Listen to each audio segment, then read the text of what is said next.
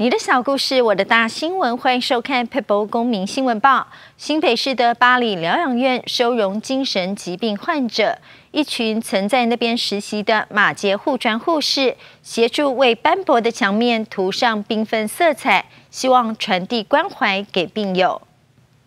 巴黎疗养院是专门收容精神疾病的医疗院所，一零一病房赵佩仪护理长秉持着医院的理念，以彩绘的方式。让住民们有爱与温暖的感觉。他望过来的感觉，不要就是一面白墙，甚至就是老旧的建筑，年代也比较久远，那难免就会有一些石砖的墙壁会有一些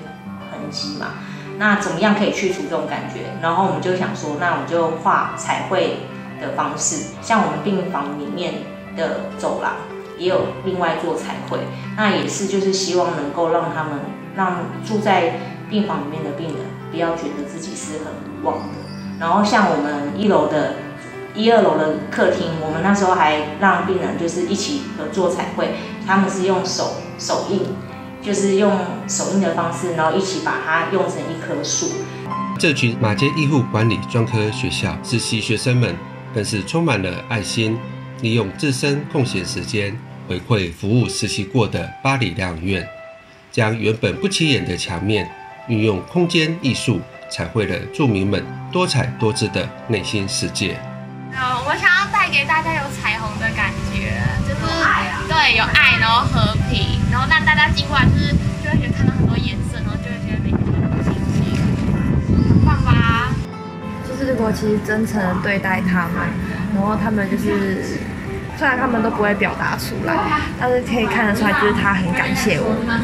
就会觉得说，哦，我们的付出他们其实还是知道的，然后就会觉得很棒。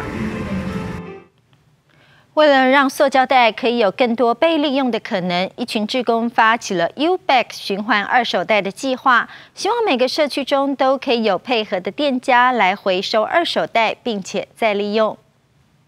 据统计，台湾每人平均一天使用二点七个塑胶袋，一个袋子的平均寿命却只有十二分钟。二零一四年，台大青年发起了 U Bag 二手袋循环计划，鼓励店家成为二手袋回收站，并设立网络平台，媒合店家与消费者，让民众将家中闲置的二手袋捐给自家附近的商店，代替一次性塑胶袋的需求。全台目前已有超过一百二十个二手袋回收店家，每个月减少了将近四千个一次性塑胶袋的使用，比例大概有将近到百分之八十。我们几乎都是用环保袋，他们是很蛮开心的。客人收到了之后，相对也会回家把他们家的纸袋整理过再送过来。我觉得接受度真的非常的高。U Back 计划不仅仅延长了二手袋的使用周期，更建立起了人与人之间的共识与互信。此外，U Back 今年十月将会推出更加便利的网络平台，